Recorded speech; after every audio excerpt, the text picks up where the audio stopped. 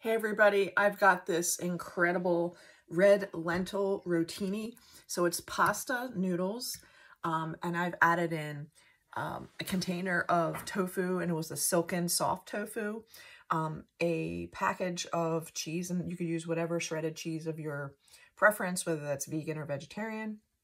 And then um, a huge head of broccoli chopped into small pieces. I stirred it up. I added a little bit of water when I first baked it for 45 minutes. Let me do a taste test here. So this is broccoli and the noodles and the tofu. Mmm. Mm-hmm. Really good. The other cool thing of these Barilla um, noodles, red lentils, they have 29, 29 gram, what is it, 20, sorry, 25 grams of protein in the actual noodles because they're made from red lentils. So that's another way to level up and add more protein into your food. So check it out.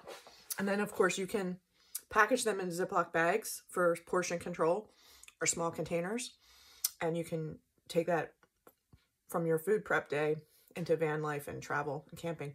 Have a good one.